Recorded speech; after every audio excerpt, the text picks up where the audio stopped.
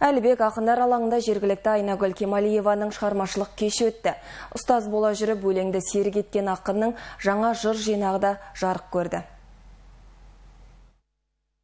Айнагүл Кемалиева 1972 жылы Жарсуат ауылында дүниеге келген жас кезінен өлең жаза бастаған ақынның өлеңдері жергілікті және республикалық баспа басылымдарында жарық көрді.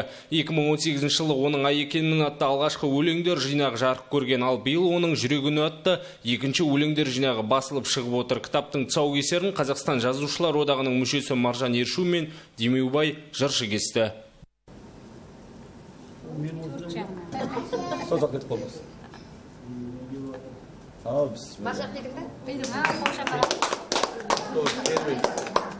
Бұл бұл шараның мақсаты халықтың ыстық ықыласына бөленіп жүрген осы еліміздің өлкеміздің танымал ақын жыршыларын халыққа кеңінен насихаттау олардың өнер мұра жолдарын таныстыру сол осы ниетте бүгін ұлағат ұстаз еліміздің танымал ақынның бірі айнагүл кемалиеваның ханымның кеші өтті.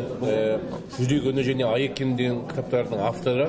Бұл өлеңдерді оқырмандар үлкен таласа ықыласпен оқып жүр. Оған біз куәміз. Ақын Айнагүл Кемалиеваның шығармашылығы тақырыбының ауқымы кең әрі алуан түрлі. Жалпы ата тегімізде осы өлең құрап айтатын ақындар болған екен. Осы ақындық өнерді ары қарай қалам мен қағазды серік етіп жазып келе жатқаныма бірнеше жылдар болды. Бұл күнде менің екі кітабым жарыққа шықты.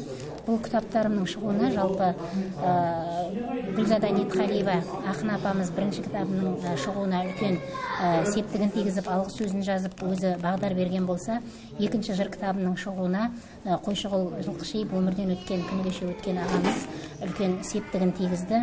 Мынау өлеңдерің далада қалмасын кітабыңды шығар деп сол кісілердің нұсқауымен осы екі жыр кітабым халыққа жол тартып жатыр. Шығармашылық кеш барысында Айнагүл Кемалиеваның өлеңдері оқылды. Шара соңында кітап авторына жылы лебіздер мен ақ тілектер айтылды.